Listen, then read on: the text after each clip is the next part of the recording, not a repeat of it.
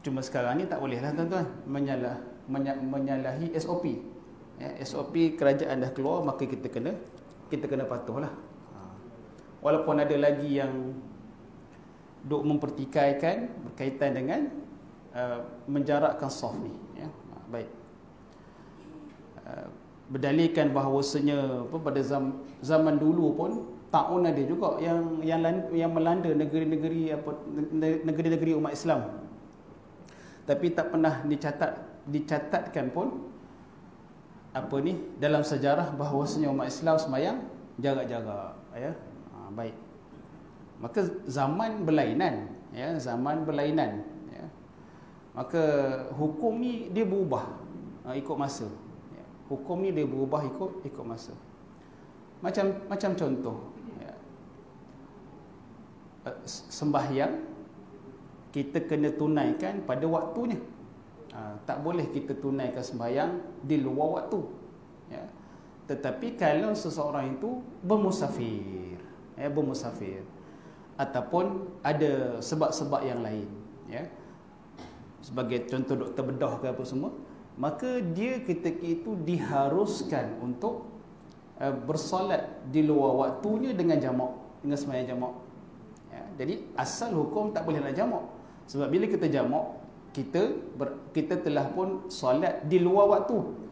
Ya. Tapi disebabkan ada keadaan yang yang terjadi, sesuatu yang terjadi menyebabkan orang tu harus untuk jamak solat. Ya. Uh, apa lagi tuan-tuan? Ya. Berbuka puasa. Ya, berbuka puasa. Uh, orang hukum asalnya kita kena berpuasa wajib berpuasa ya. Haram hukumnya kita tak puasa. Buka puasa tengah hari. Makan nasi tengah hari di bulan Ramadan. Maka hukum asalnya adalah haram. Tetapi di sana jika seorang seseorang itu berlaku kepadanya perkara-perkara yang membolehkan dia berbuka puasa maka dia harus berbuka puasa. Dia sakit sebagai contoh dia bermusafir sebagai contoh maka tidak mengapa untuk dia uh, tidak berpuasa pada hari itu. Ya, orang yang orang yang sakit sebagai contoh. Orang yang sakit tak mampu nak semayang berdiri.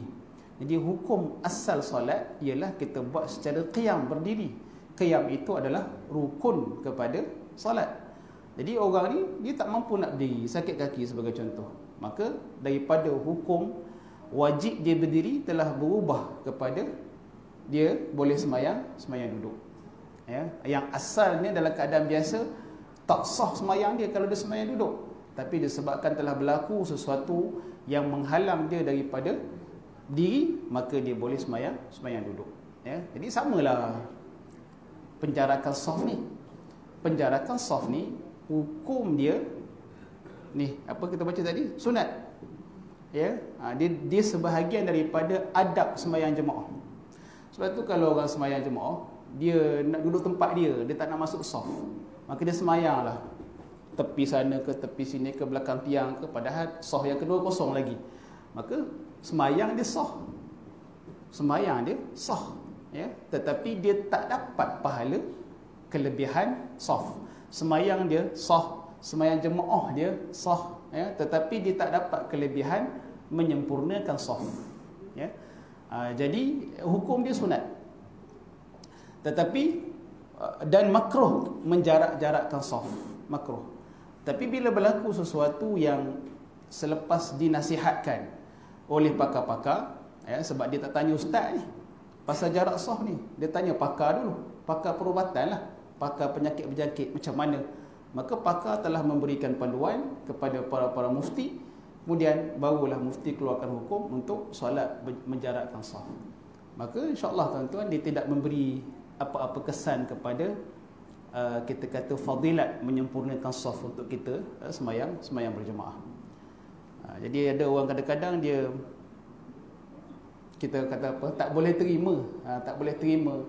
Dan kadang-kadang kita kata apa menjadikan orang waswah eh?